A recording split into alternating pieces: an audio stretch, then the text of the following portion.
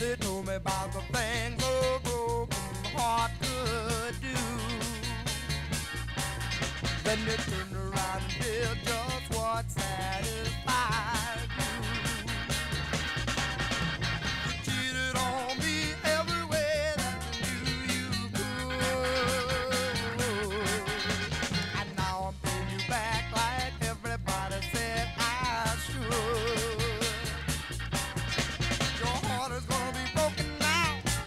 I couldn't care less.